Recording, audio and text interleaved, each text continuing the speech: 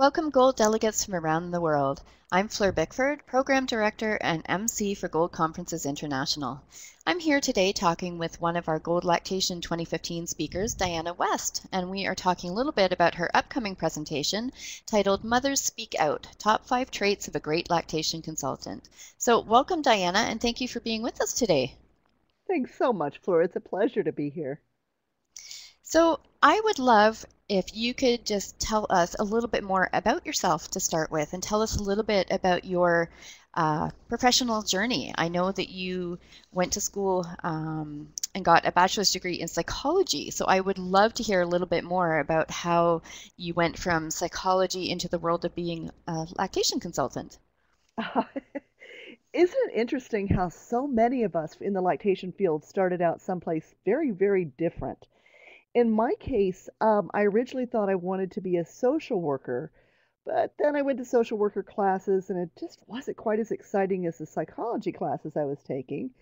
But I knew I wanted to specialize in psychology, and I actually was working full time uh, throughout most of my college career.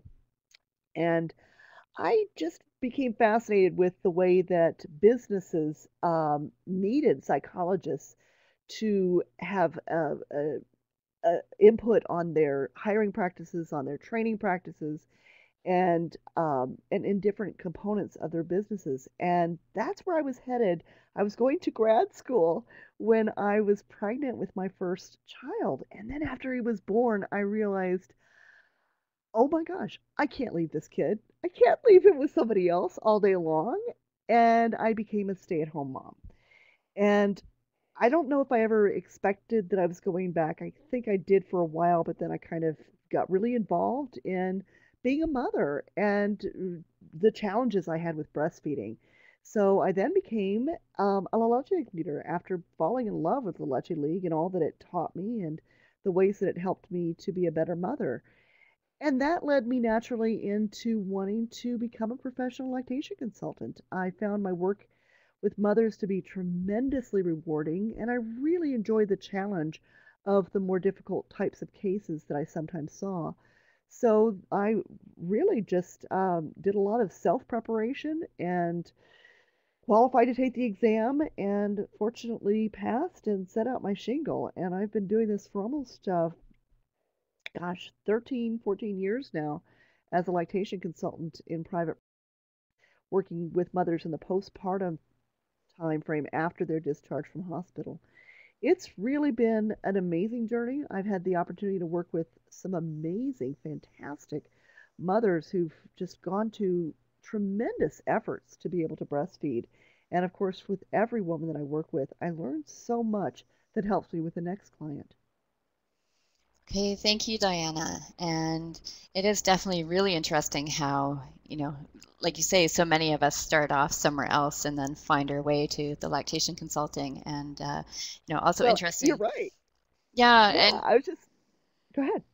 Interesting too, you know, what you were saying about how everything changed when you had a baby. And I know that was my experience too. It, uh, that certainly led me somewhere very different to where I was expecting to go. And I think that, again, that's very true of a lot of us in the profession. We have our children, and then that totally changes everything.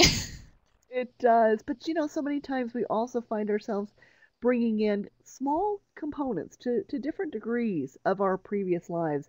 And I know that the psychology has always been fascinating to me the psychology of breastfeeding. And I think that that, if I look at a commonality of all the different topics that I've concentrated on in my books, in my writing, in my talks. It's the psychology. It really is. It's how we talk to each other, what's important, what drives us, what motivates us, that really, to me, has become one of the most important components of being successful in breastfeeding.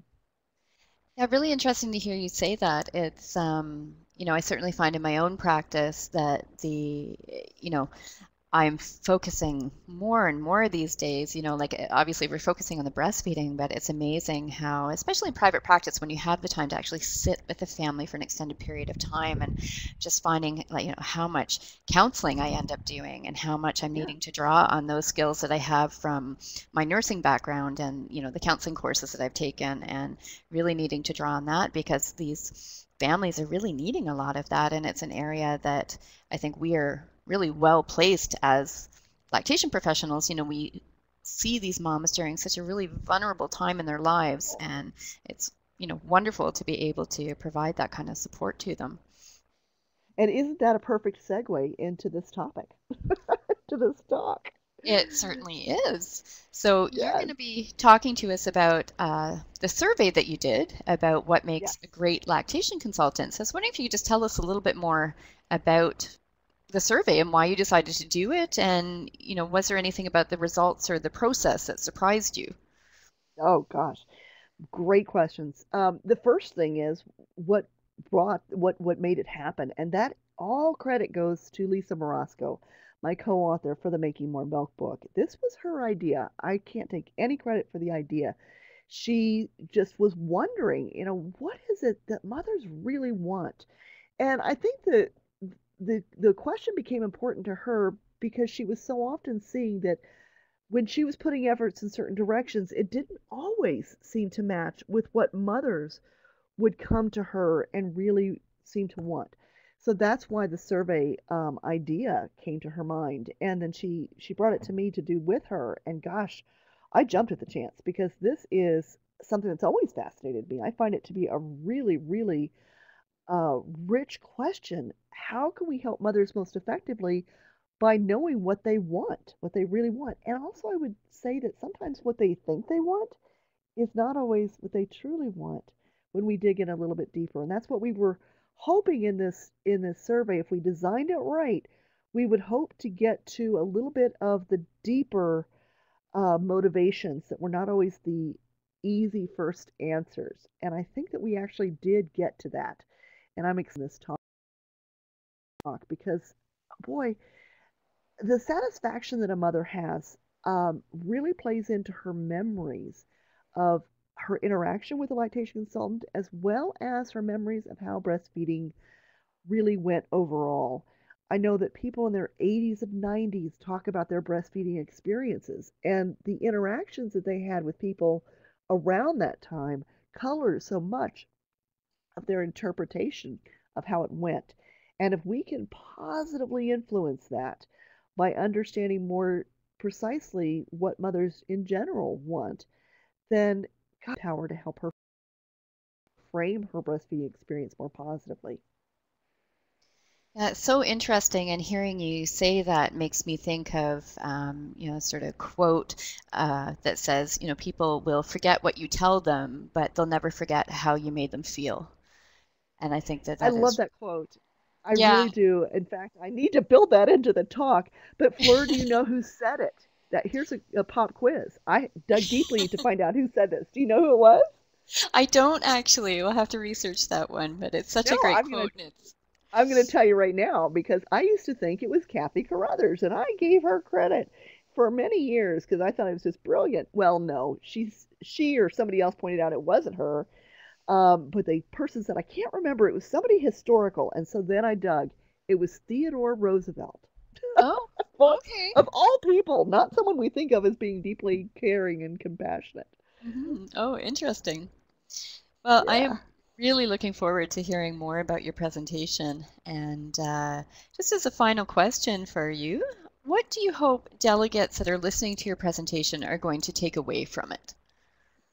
Oh gosh, I really, really hope that we can deepen our understanding of the internal emotional world of mothers. It's not always the words that they're saying to us directly.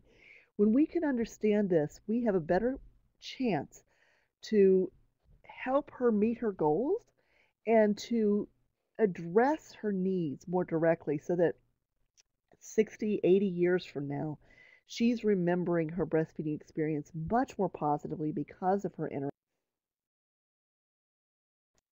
Okay, thank you. And I think that's such an important thing. So, really excited about hearing um, more details about the results of your survey. So, thank you so much for being here today to chat with us a little bit. Thank you, Fleur. Really enjoyed it. Okay, so for our delegates, you'll be able to hear more from Diana West about this interesting topic at her live presentation coming up Tuesday, April 28th at 1700 UTC. So we look forward to seeing you then. Bye, everyone.